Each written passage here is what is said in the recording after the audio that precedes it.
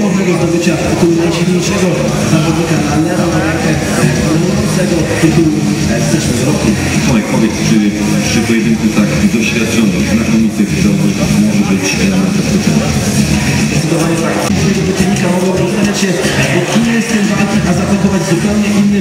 W ten sposób e, właśnie wykorzystując element zaskoczenia mogą zwyciężyć nieoczekiwanie e, ten pojedynek, chociaż z góry mogą być skazani na przegraną. E, Dlatego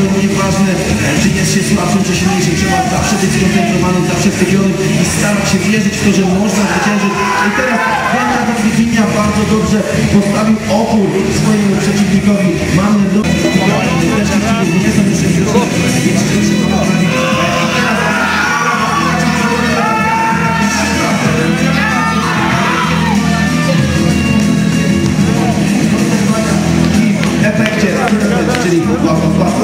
nie.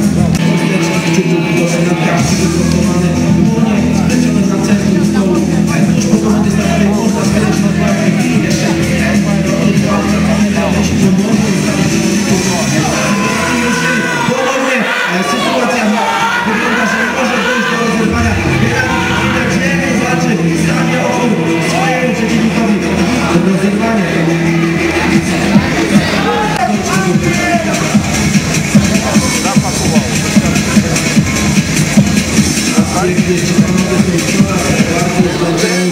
Długie ustawienia na pewno im nie pomagają. Na pewno tracą na dużo energii, która będzie im potrzebna tuż po.